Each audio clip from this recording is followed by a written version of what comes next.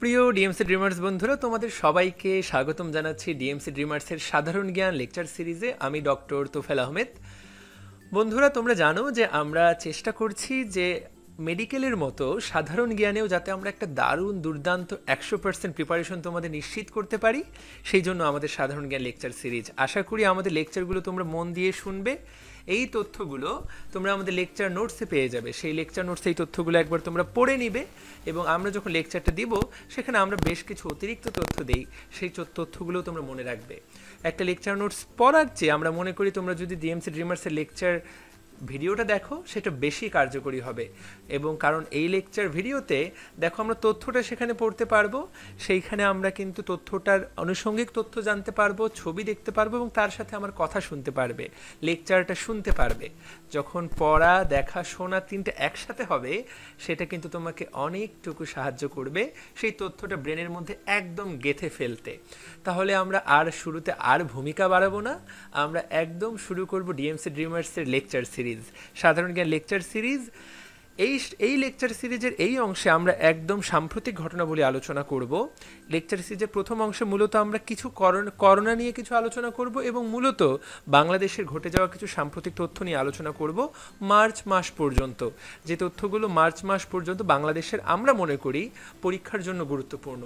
অসংখ্য ঘটনা ঘটে, পেপারের পাতায়, পত্রিকার পাতায় অসংখ্য অসংখ্য তথ্যমূলক ঘটনা ঘটে, কিন্তু সবগুলো তো মনে রাখা সম্ভব না বা পরীক্ষায় সব ধরনের তথ্য আসেও না।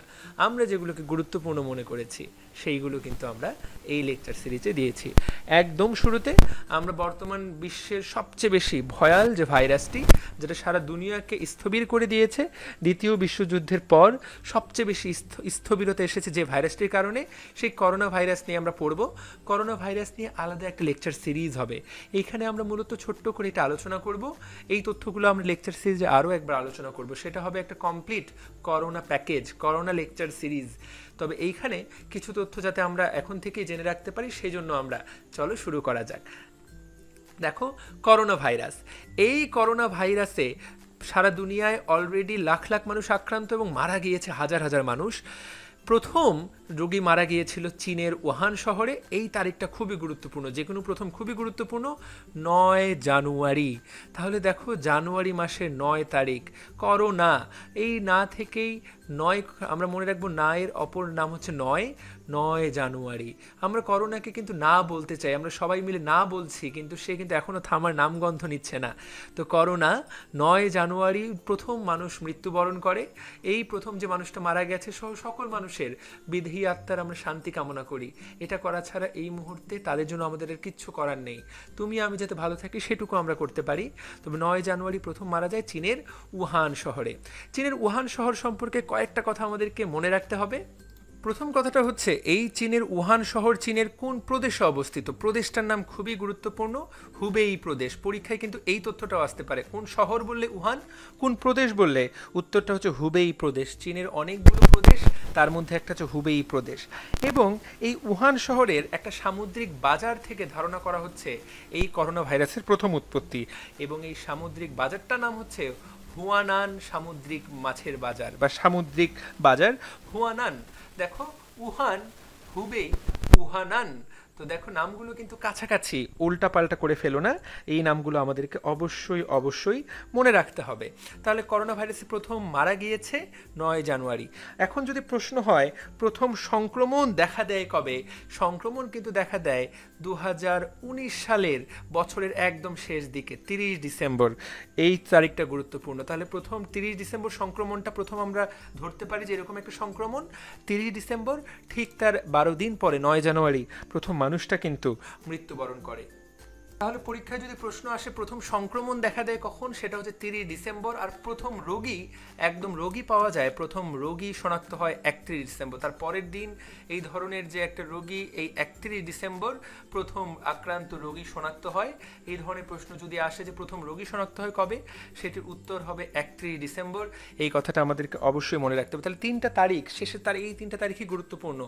প্রথম একত্রিশ ডিসেম্বর রোগী শনাক্ত হয় এবং নয় জানুয়ারি প্রথম রোগী কিন্তু মৃত্যুবরণ করে এবং তিরিশ জানুয়ারি প্রথম মৃত্যুবরণ করার একুশ দিন পর ডাব্লিউএইচও ওয়ার্ল্ড হেলথ অর্গানাইজেশন আমরা দেখতে পাচ্ছি এই হলো ডাব্লিউএইচও ওয়ার্ল্ড হেলথ অর্গানাইজেশন এইটাকে কিন্তু বৈশ্বিক জরুরি অবস্থা জারি করে। আমাদের দেশে জরুরি অবস্থা বলতে একশো চুয়াল্লিশ ধারা। ডাব্লিউএইচও তাদের ক্ষমতা বলে যতটুকু তারা জারি করতে পারে, স্বাস্থ্যের জরুরি অবস্থা জারি করে তিরিশ জানুয়ারি দু হাজার বিশ। ডাব্লিউএইচও বেশ কয়েকবার কিন্তু এইরকম জরুরি অবস্থা জারি করেছিল, যেমন দু সালে সোয়াইন ফ্লুর নাম তোমরা শুনেছো সোয়াইন ফ্লু যেটাকে আমরা কি চিনি? H one N one virus এই হিসাবে চিনি সোয়াইন ফ্লু এই সোয়াইন ফ্লুর সময় কিন্তু বৈশ্বিক জরুরি অবস্থা তিনি জারি ডাব্লিউএইচও জারি করেছিল। দু হাজার চোদ্দ সালে ইবোলার সময় জারি করেছিল দু হাজার ষোলো সালে জিকা ভাইরাস, এই সময়ও কিন্তু জরুরি অবস্থা, পাবলিক হেলথে জরুরি অবস্থা ডাব্লিউএইচও জারি করেছিল। বর্তমানে কিন্তু করোনা ভাইরাসকে ডাব্লিউএইচও জরুরি প্যান্ডেমিক হিসেবে ঘোষণা করেছে। এখন যেহেতু আলোচনায় চলে এসেছে, আমাদেরকে একটু হলেও এই ডাব্লিউএইচও সম্পর্কে কয়েকটা তথ্য জাস্ট মাথার মধ্যে রাখতে হবে। যেহেতু ডাব্লিউএইচও বারবার প্রত্যেকদিন খবরের কাগজে আসে, প্রত্যেকদিন আলোচনায় আসে, আমাদেরকে ডাব্লিউএইচওর কয়েকটা তথ্য অবশ্যই ব্রেনের মধ্যে সেট করে ফেলতে হবে। প্রথম প্রশ্ন আসতে পারে, এই যে ডাব্লিউএইচও এই ডাব্লিউএইচও ওয়ার্ল্ড হেলথ অর্গানাইজেশন এটা প্রতিষ্ঠিত হয় কত সালে? তোমাদের কি মনে আছে কি না ডাব্লিউএইচও যেহেতু ওয়ার্ল্ড হেলথ মূলত দ্বিতীয় বিশ্বযুদ্ধের পর পুরো বিশ্বটাই কিন্তু নতুনভাবে বদলে গেছে। মূলত এইটা প্রতিষ্ঠিত হয় উনিশশো আটচল্লিশ সালে। উনিশশো আটচল্লিশ, আমাদের পাকিস্তান, ভারত বিভক্ত হওয়ার পরের বছর উনিশশো আটচল্লিশ সালের সাত এপ্রিল, এই যে সাত এপ্রিল, এই সাত এপ্রিল কিন্তু বিশ্ব স্বাস্থ্য দিবস হিসেবে পালিত হয়। তাহলে এই যে সাত এপ্রিল ডাব্লিউএইচও কিন্তু প্রতিষ্ঠিত হয় এবং উনিশশো আটচল্লিশ সালের এই সালটা কিন্তু আমাদেরকে অবশ্যই তথ্যগত কারণে মনে রাখতে হবে। এবং হেডকোয়ার্টার কোথায়? জেনেভা, সুইজারল্যান্ডের জেনেভা। সুইজারল্যান্ড খুবই সুন্দর দেশ, তার জেনেভাতে কিন্তু ডাব্লিউএইচওর সদর দপ্তর অবস্থিত এবং সেই, আমাদেরকে কিন্তু এটা অবশ্যই অবশ্যই মনে রাখতে হবে। এবং এই ডাব্লিউএইচওর আলোচনা যখন আসলো, আমাদেরকে আরেকটা কথা মনে রাখতে হবে। এই ডাব্লিউএইচওর বর্তমান যে প্রধান, তার নাম হচ্ছে টেড্রস আধানোম গোবিয়ান্স। এই মানুষটার নাম তোমাকে মনে রাখতে হবে। তাকে বলে ডাব্লিউএইচওর director general. Tedros, Adhanom Ghebreyesus আমরা এখানে মানুষটার ছবি দেখতে পাচ্ছি। তোমরা টিভিতে তাকে প্রত্যেক দিন বারবার হয়তো বা দেখেছ। তোমাকে অবশ্যই অবশ্যই মনে রাখতে হবে। পরীক্ষা এই মানুষটার সম্পর্কে প্রশ্ন আসতে পারে যে তিনি কোন দেশের অধিপতি? তার বাড়ি কিন্তু ইথিওপিয়া। তাহলে এইখান থেকে এই তথ্যটা মনে রাখা যেতে পারে যে টেড্রস, আধানোম গোবিয়েন্স কোন দেশের অধিবাসী? তার বাসা ইথিওপিয়া। এবং ডাব্লিউএইচওর প্রধান হওয়ার আগে এই টেড্রোস, আধানুম গোবিয়ান্স কিন্তু ইথিওপিয়ার এককালীন স্বাস্থ্যমন্ত্রী ছিলেন এবং আরেককালে পরবর্তীতে পররাষ্ট্রমন্ত্রী ছিলেন। তাহলে ইথিওপিয়ার একজন খুবই উচ্চমাপের কর্মকর্তা এবং তিনি কর্মকর্তা ছিলেন এবং গুরুত্বপূর্ণ তিনি কিন্তু আফ্রিকা থেকে প্রথম মানুষ যিনি বিশ্ব স্বাস্থ্য সংস্থার প্রধান হয়েছেন এবং তিনি আফ্রিকার থেকে এমন একজন মানুষ যিনি কিন্তু নন ডাক্তার নন ডক্টর অর্থাৎ নন ফিজিশিয়ান অর্থাৎ তিনি চিকিৎসক নন। তিনি একজন মাইক্রোবায়োলজিস্ট মাইক্রোবায়োলজির উপরে পড়ালেখা করেছেন। ম্যালেরিয়া বিষয়ে তার তুমুল গবেষণা রয়েছে। তাকে একজন ম্যালেরিয়া বিশেষজ্ঞ বলা যেতে পারে, তিনি একজন মাইক্রোবায়োলজিস্ট এই তথ্যগুলো টেড্রস আধানম গোবিয়ান সম্পর্কে জানতে হবে। তুমি যদি এতগুলো মনে না রাখতে চাও, একটা কথা অবশ্যই মনে রাখতে হবে, তার বাসাটা কোথায়? ইথিওপিয়া। তিনি কিন্তু ডাব্লিউএইচওর বর্তমান প্রধান। আমাদেরকে অবশ্যই অবশ্যই এইটুকু মনে রাখার চেষ্টা করতে হবে। তাহলে ডাব্লিউএইচও সম্পর্কে জেনে ফেললাম। এখন এই যে করোনা ভাইরাস এই করোনা ভাইরাস সম্পর্কে আমরা আরও কিছু জানব। সবচেয়ে গুরুত্বপূর্ণ কথা হচ্ছে, এই ভাইরাসটার অস্থায়ী নাম কী ছিল? পরীক্ষায় যদি প্রশ্ন আসে যে এই ভাইরাসটির অস্থায়ী নাম কী ছিল এটাকে কিন্তু প্রথমে বলা হচ্ছিল নোভেল করোনা ভাইরাস তাহলে অস্থায়ী নাম ছিল নোভেল করোনা ভাইরাস কিন্তু বর্তমানে এটার নাম কি? এটার নাম, আসল নাম হচ্ছে সার্স কোভ টু। আমরা অনেকে এটাকে শুধু করোনা ভাইরাস বলে ডাকি, কিন্তু করোনা ভাইরাস কিন্তু একটা গোত্র। এই করোনা ভাইরাস গোত্রের বর্তমান যে ভাইরাসটা সারা দুনিয়ার বারোটা বাজিয়ে দিচ্ছে, তার নাম SARS CoV two. SARS CoV two যেটার অস্থায়ী নাম ছিল নোভেল করোনা ভাইরাস এখন যদি পরীক্ষায় মূলত এই নামটা আসবে সার্স কোভ টু তুমি যদি জানতে চাও এটা কত গুরুত্বপূর্ণ ten star important must to know অবশ্যই জানতে হবে। কেন এটাকে করোনা ভাইরাস নাম বলা হচ্ছে? দেখো ভাইরাস তুমি সবাই দেখতে দেখতে অভ্যস্ত। ভাইরাসটা দেখতে এইরকম। দেখো, চারপাশে মনে হচ্ছে, চারপাশে ছড়িয়ে আছে স্পাইক করোনা মূলত এই স্পাইকগুলোকে বলা হয় করোনা এই যে জ্যোতির্বলয় করোনা ভাইরাসের করোনা শব্দের অর্থ জ্যোতির্বলয়। এইরকম সূর্য থেকে যেমন রশ্মি বের হয় এইটা থেকে যেমন রশ্মি বের হচ্ছে, সেই জন্য এটার নাম হয়েছে করোনা ভাইরাস। তাহলে এইটুকু আমাদেরকে অবশ্যই মনে রাখতে হবে। এবং এই করোনা ভাইরাস যে রোগটা করে, সেই রোগটার নাম তুমি সবাই জানো, কোভিড নাইন্টিন। ডাব্লিউএইচও বলেছে করোনা ভাইরাস যে রোগটা করবে, তার নাম হচ্ছে কোভিড নাইন্টিন। নাইনটিন কারণ দু হাজার উনিশ সালে ডিসেম্বর মাসে এটা আবিষ্কৃত হয় দু হাজার উনিশ তাহলে উনিশের জন্য nineteen, COVID, corona virus disease. Corona virus disease nineteen. এইটুকু আমাদেরকে এই তথ্যটা মনে রাখতে হবে। এবার চলো আমরা আরেকটু চলে আসি যে এবার করোনা ভাইরাস সম্পর্কে এগুলো জানলাম। খুবই গুরুত্বপূর্ণ। আমাদেরকে একটা তথ্য কিন্তু আমাদেরকে খুব চমকে দিয়েছিল। সেটা হচ্ছে এই প্রাণঘাতী করোনা ভাইরাস যখন চীনে প্রচণ্ড ভয়াল থাবা আঘাত হানে, তখন কিন্তু চীন মাত্র দশ দিনে, মাত্র দশ দিনে এক হাজার শয্যা বিশিষ্ট একটা হাসপাতাল বানিয়েছিল। মাত্র দশ দিনে। চায়না বলেই সম্ভব, তারা কিন্তু এখন অসম্ভবকে সম্ভব করছে।